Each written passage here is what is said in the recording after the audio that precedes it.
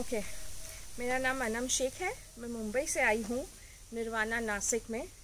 मैं यहाँ पर 10 दिन की कोर्स के लिए आई थी फॉर ओबेसिटी वेट लॉस के लिए एंड ऑल्सो बिकॉज़ कि मेरा पैर फ्रैक्चर हो गया था एंड मैं लिम्प करने लगी थी आफ्टर द रिकवरी यहाँ पर आके मैंने काफ़ी सारा वेट लूज़ किया, जहाँ पर मैं मुंबई में 100 मीटर नहीं चल पा रही थी आफ्टर माई इंजरी यहाँ पर मैं रोज़ 9 किलोमीटर, तीन सुबह, तीन दोपहर और तीन शाम को।